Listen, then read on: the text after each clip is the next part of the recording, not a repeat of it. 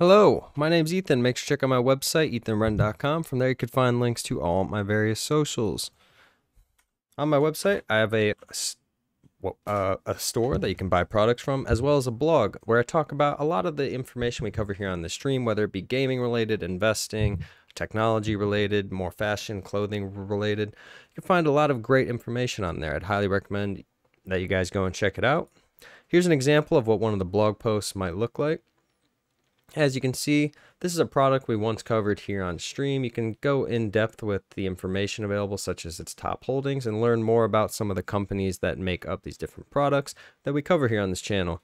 Every blog post also has its own video that's unique to it. And at the very bottom, there is a section where you can leave comments, give me feedback, let me know what you guys think, recommends things that I should cover. And something you might have noticed as you're scrolling through, every page has this little Discord button at the bottom. If you click it, you are able to browse the Discord basically in its entirety without making an account, without downloading anything. You can scroll through, look at the different channels. Um, if you see something you'd like, you can click it. And then there's this open original button, and it'll open the picture in its full size in a new tab so you can more clearly see it. Also, here's again my YouTube channel. On the YouTube channel, we have a bunch of playlists um, where a lot of the content we cover again here in these streams makes its way to whether you're interested in ETFs, commodities, crypto, technical analysis, such as like the different in indicators you often hear me talk about. Uh, there's more in, in-depth videos available on the YouTube channel that you can look at more. So what's the next symbol we're going to be covering? This is symbol BAC, Bank of America Corporation. Now, this is something we had actually brought up in the Discord um, prior to their most recent earnings. Again, if you're in the Discord, go to the Bullish Charts channel. Um, and I was actually able to share this exact screenshot with the Discord. Um, and they beat earnings and have been running ever since. Now, as you can see here, they kind of have this upward trending Fibonacci fan here um, with the support and the resistance. It's kind of more like a wedge shape, right? You so often see me cover like upward trending price channels with rigid parallel um, supports and resistance. Again, this has this, it's the same concept, right? You have your resistance, you have your support, but as time is going, the distance is becoming wider and wider. But in reality, is it coming wider and wider? Because it really is kind of a perspective thing when you're looking at it, right? You have a 240% move here, but even though the support and resistance are seemingly a much farther distance, right? You're getting about 115% move here. So it's kind of quite proportional the way this works out. Um, but I'm getting ahead of myself.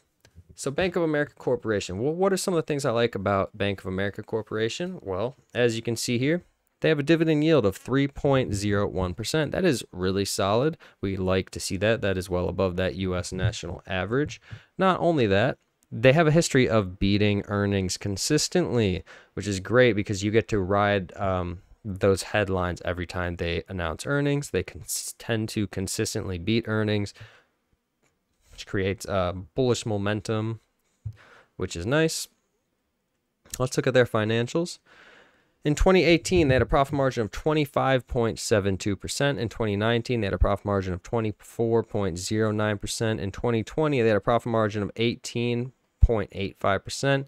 In 2021, they had a profit margin of 33.39%. And in 2022, they had a profit margin of 23.82%.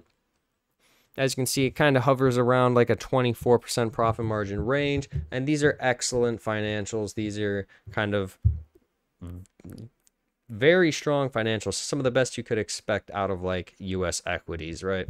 Really good, really good, right in line with some of the most um, valued companies in our country, such as like Microsoft, for example. Very solid financials, very profitable. Now, right now I'm looking at a monthly time frame. If you come up here next to the symbol, you'll see an M. This means every candle here represents one month of time. Big time frames, guys. Big time frames. I don't do any of that five minute, one minute, one hour stuff, that puny one hour stuff, right? This is a monthly time frame. Monthly.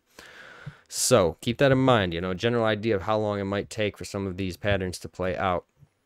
So as you can see here, the RSI on the monthly RSI has come down and it kind of bottoms out at a 42 consistently. Let's let's make that more apparent here. As you can see, if I draw a straight line across at the 40, you so often see me refer to an RSI in the 30, right? But quite clearly, looking at the price history for this symbol on this time frame, the way it behaves, the bottom point for the, its RSI is a 40. It doesn't go lower than the 40. I'm able to observe this and recognize this and there's no one size fit all here, but using it's quite clear to see every time that the monthly RSI comes down in Bank of America, it tends to bottom at a 40 where it then proceeds to rebound. Okay. So when the RSI is high in the sky, like it was 2023, September 2023, this is typically a sign that it's not a good time to be allocating money to this investment or it's potentially overvalued. Now, let me quickly go through and show last time where its RSI was as low as it is currently. As you can see in March 2020, the RSI came down and touched the 40, and then Bank of America proceeded to run as much as 152%. The time prior to that, where the RSI was as low as it is currently, would be February 2016. The RSI came down, bounced off the 40, then proceeded to run as much as 175%. The time prior to that would be September 2011, RSI came down, touched that 40, and then proceeded to run 243%. These are very large runs, something you can hold for a very long period of time. They're relatively consistent and stable. It, it would be pretty easy to hold on to something like this for a long period of time without getting too seasick, shaken back and forth. Um, again, Bank of America, every, everybody knows them. They're a very blue chip company. Everyone's very familiar with them. They have a current market cap of 254 billion. So this is not no small fry penny stock. Um, I quite like the chart for this because it's so elegant.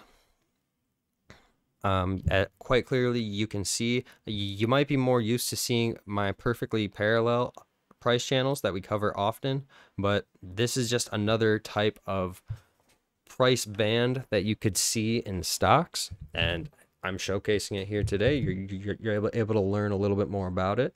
Um, again, we have this line here acting as the support, this line here acting as a resistance. It's more of like a conical shape, a conical shape. Now, where do we think Bank of America is going to be going moving forward. Currently have a price projection in of 115. You could easily see it potentially, let's unlock this, move up to as much as 129. As you can see off the previous runs, if we were to average them out, you have 243 over here, you have 175 over here, you have 150 over here. So we're being quite conservative by putting in a current projection of 215 to 230. That you know that's completely within reason for a symbol like this. And on my channel on my channel we've been covering the symbol XLF which is the sectoral financial ETF and then there's also KRE which is the regional banks um, e sectoral ETF like a subsector right? Um, and both of them have been performing extremely well. And those videos are available on my YouTube channel already. So I'd highly recommend you go and watch those to learn a little bit about them. And again, um,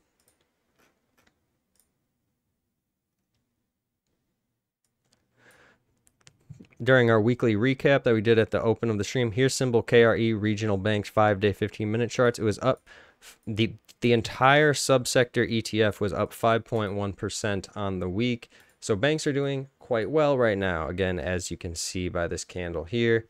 So Bank of America very solid investment, something you can hold for a very long period of time. Very reputable company, very blue chip. They offer a dividend of over 3%, and they have an average profit margin of 24%. These are all great numbers, all, all great numbers. It's pretty much everything I want to say about Bank of America. We're going to jump right into our next symbol here.